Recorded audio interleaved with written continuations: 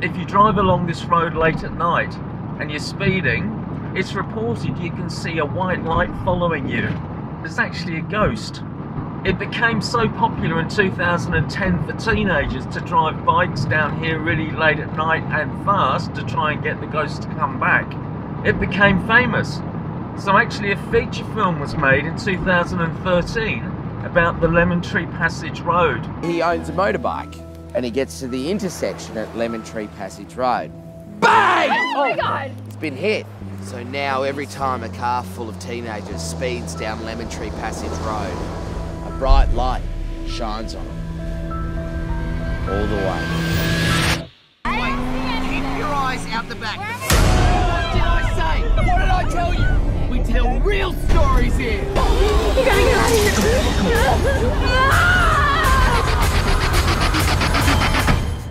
That's what we're on now, the road to Lemon Tree Passage. Just sit back and relax, don't worry. The world can wait. No need to hurry. Lemon Tree Passage is on Port Stephens, about two and a half hours north of Sydney. It's a large waterway bigger than Sydney Harbour and popular with sailors and holidaymakers alike. Phil, with his Sunmaid 20, was the first to arrive. So we're on the water. It's about one o'clock. I'm down at Lemon Tree Passage with uh, Phil and John, and I think the other John's coming today as well. When we got here, there was a good 10 to 15 knots, but it seems to have died down quite a bit, which is good, because I think for the rest of the weekend it's going to be pretty strong. So we're just going to potter around down here today, the top end of Port Stephens. I've never been here before. Looks really nice. And then uh, we'll probably come back down this way tonight to find somewhere to stay.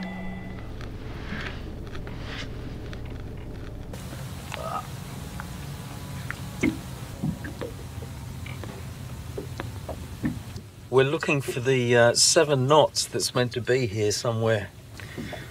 Can't quite see it. What have you found, Phil? There's one knot. You got one knot. At the end of a rope, but it's the one knot. Got some dolphins coming to check us out. Ooh.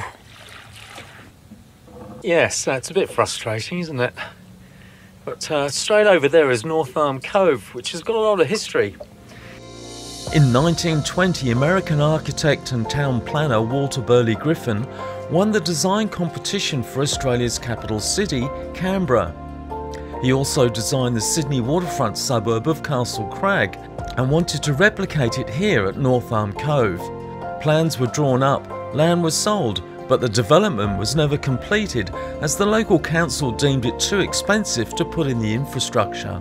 And uh, you can still buy land there today very cheaply, but you can't build there, which is a bit weird, really. Now, gone three o'clock and two knots maybe.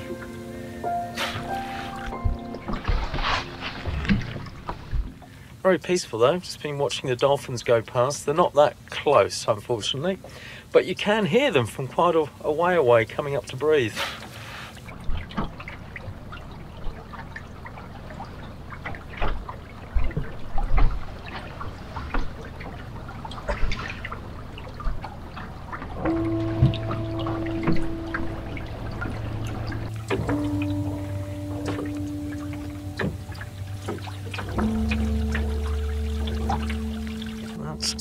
Bay over there.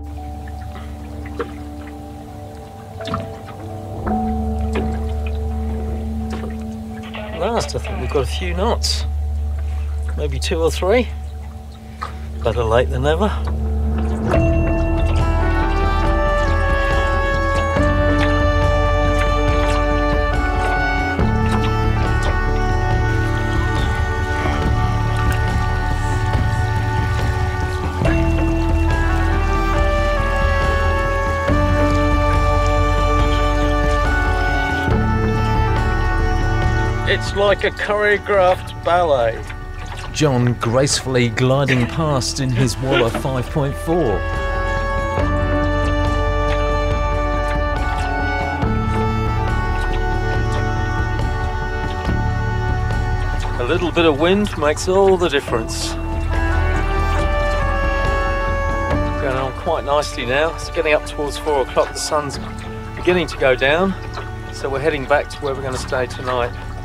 further down the creek, I think.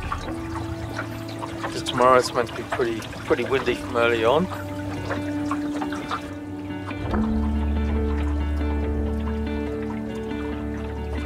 So we've re-entered Lemon Tree Passage, and now we're gently going down between the mainland and this island to find Gibbers Beach, which I think is a bit further down. Uh, it's obviously not a lot of wind in here, which is uh, good for staying overnight, but not so good for trying to get there. I think the uh, the tide's coming in, so we've got a bit of tidal assistance.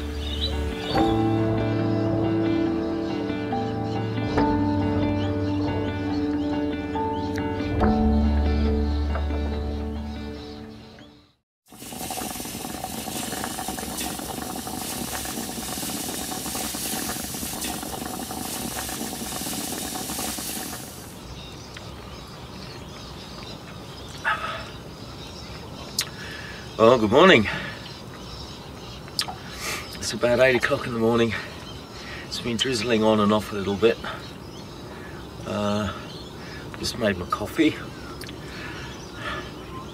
And uh, there is wind already. I've just checked the weather forecast. It should be um, 12 knots today, which is okay. Not sure about the rain. I think it's going to rain on and off all day. Very cloudy. Very different from yesterday. Anyway, a couple of people I think have pulled out. I think there's probably a couple more coming this morning, so we'll meet them. Uh, and then we'll hopefully go for a bit of a sail. I do have everything on. It was a little bit chilly last night. I know I often say that, but yeah, it was a bit chilly. Um, and my wife did give me a hot water bottle, and I should have filled it up with water and used it, but I was too lazy and didn't. Um, anyway, it's all good. All good. Well, we're sailing back to the ramp now to see if there's anybody else there. It's still raining and a little bit chilly. Did I say that before? Wind's in the right direction, so we don't have to motor.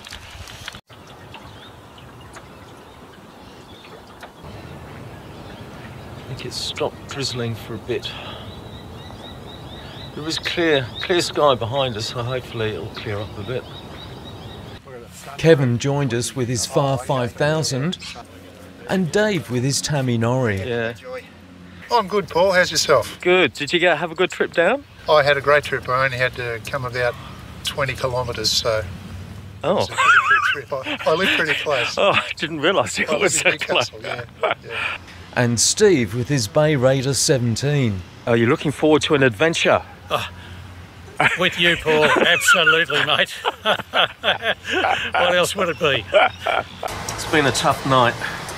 I've gone to the dark side. I'm having an egg and bacon roll. Egg runs down the side of your mouth. yes, we're doing it tough here. Having really enjoyed my temporary foray into the darkness, it was time to formulate a plan for the day. So we stayed around here somewhere last night. Right. Caravan park's just around that point. Yeah. And there's the other caravan park there. So for tonight, I'm just wondering if it's going to be south southwest, whether we'd be okay on this side of the world. Yeah, yeah. Anyway, Because it was meant to be westerly yesterday, wasn't it? Really? yeah, well, it's west something now. Yeah. So yeah. Are you ready for an adventure? Adventure, I sure am.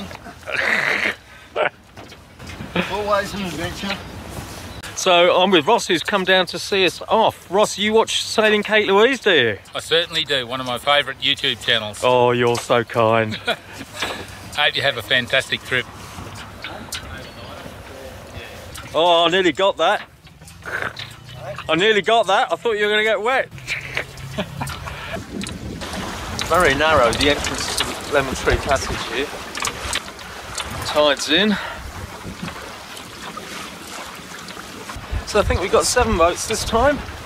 Just heading out through the channel, uh, away from the Lemon Tree Passage, and then we're going to go for a bit of a sail. The wind's picked up a bit more now.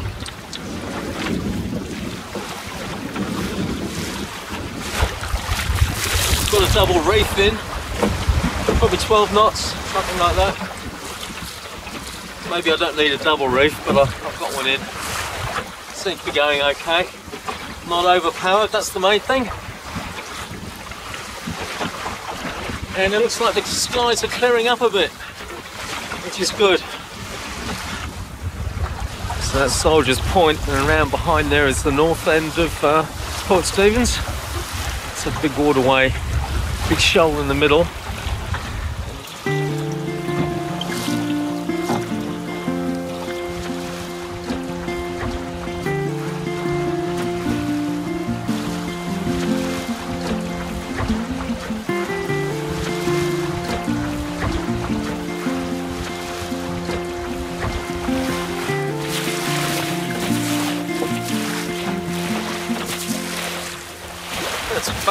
To Lemon Tree Passage. Steve and Kevin should be coming out shortly.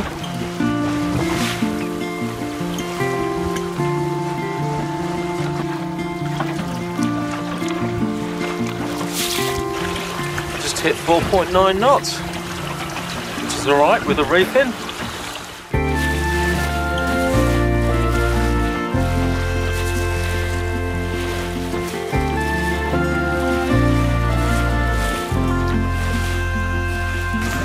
Coming into Tanilba Bay. I think the wind's picked up a bit again. Still only got one reef, but uh, it's definitely got a little bit stronger. I'm going to stop at Tanilba Bay for a bit of a break. It's, uh, a good sail. A bit chilly on the ears. Um, I think it's, I don't know, 13, 14 degrees, something like that.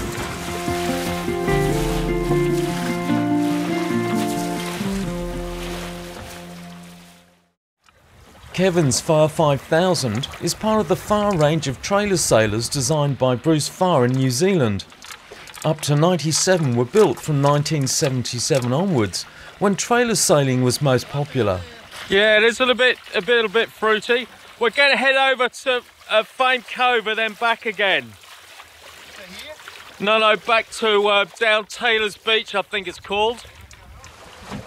John's Boterill Explorer is 16 feet and the design dates back to the late 60s. Over 150 were built and there's still a large fleet in Victoria where they race regularly.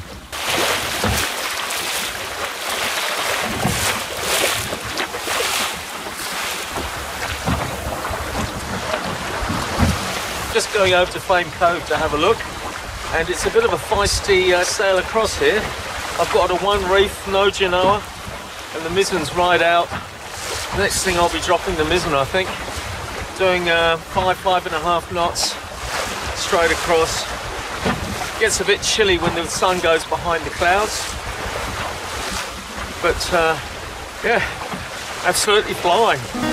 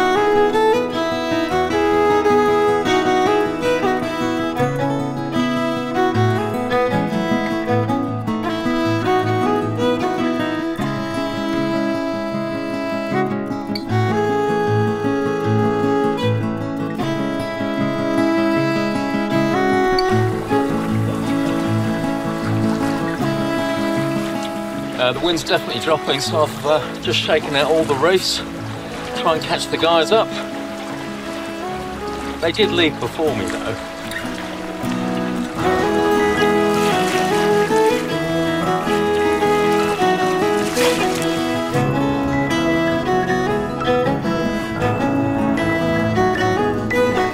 So the rain's come, the wind has swung around, so uh, we're motoring back probably just somewhere where we were last night.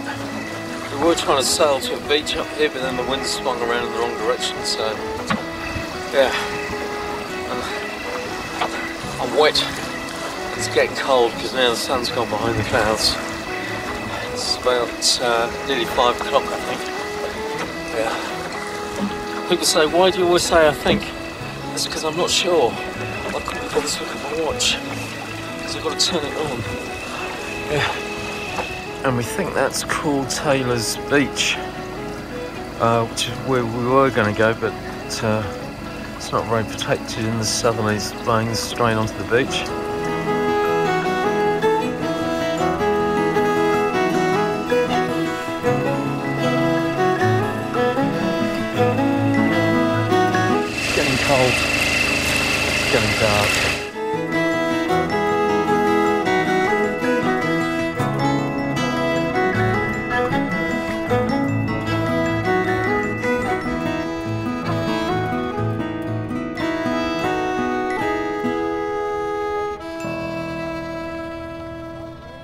After an interesting day, it's probably time for dinner.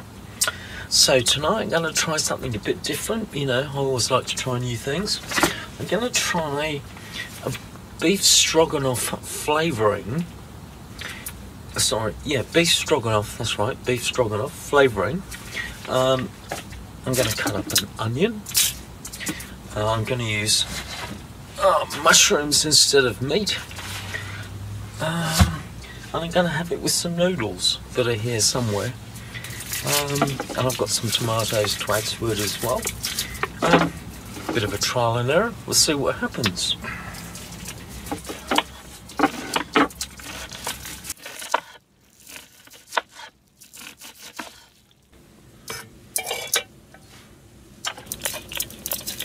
My oil dispenser, which I think's a good idea.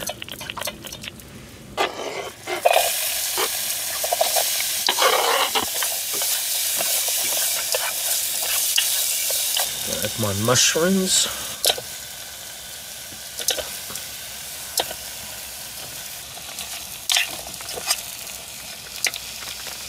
I don't know what's in it. Probably not very healthy, but it's dehydrated, which makes it easier. Probably don't need all of it. One thing.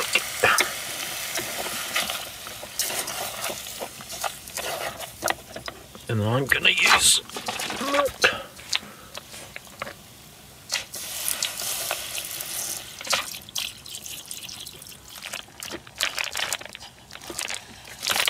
Enough.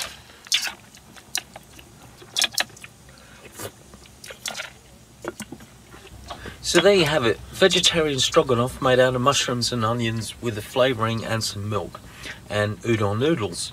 It might not be MasterChef, it might not be healthy, but it's cheap, dehydrated, easy to do on a boat, so why not give it a go? That's actually not too bad at all. Uh, just very simple. Mushrooms, onions, udon noodles, a bit of milk, and some flavouring.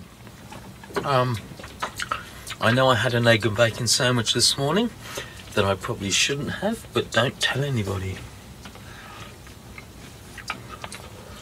Mm. It's good. Some people might say I haven't used a dehydrated meal for a while. Well, I brought a dehydrated chili along um, in case we stayed for three nights.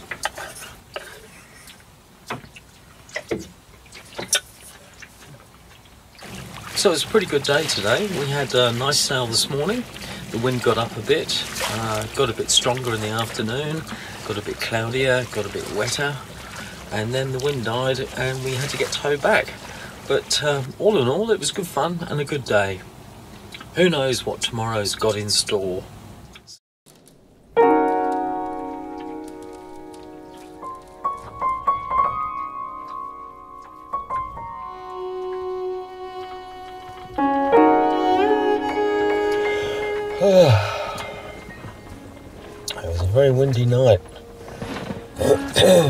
Still hear it now, the tarp flapping all over the place. Did actually snap one of the fiberglass poles in the middle of the night, so I had to get up and sort that out. I do have some spare ones, but uh, I'll fix it when I get home. And it rained a bit as well. But uh, I think it's going to be a sunny day. Looks like the sun's up already.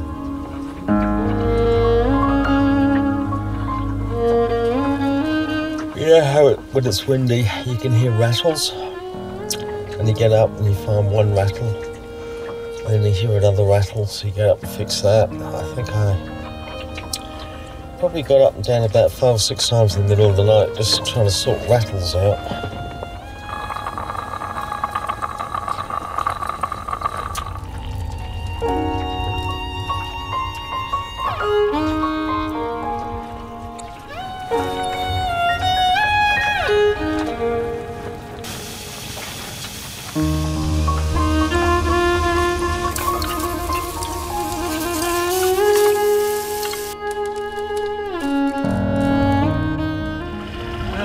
Something weird's just happened. My outboard started two or three times by itself. And then I stopped it, and it started, and I stopped it. And, uh, and now it won't start at all, even though I've got uh, battery power. So something has gone a bit of awry. I don't know what it is. Anyway, I'm going to try and sail back, and the guys will be back there to grab me when I get near the uh, jetty. It's always something. So I managed to cross the uh, main waterway. Now I'm just sailing in between the boats, trying to get back to the jetty. Luckily the wind's in the right direction, but it might die up here. Was it a simple electrical problem? Or was it the ghost of Lemon Tree Passage playing with my outboard? I don't know. But just as I was getting to the jetty, a fishing boat came past at speed and the wash pushed me onto the ferry. It could have gone horribly wrong, but luckily it didn't. You'll be pleased to know that my outboard is now fixed. Rafting up to Kevin's Farr gave me the opportunity to have a look inside. So this is the inside of uh, Kevin's Farr 5000. What a lot of room. So much room. The good thing is the centerboard case is not too high, so you've got a lot of leg room.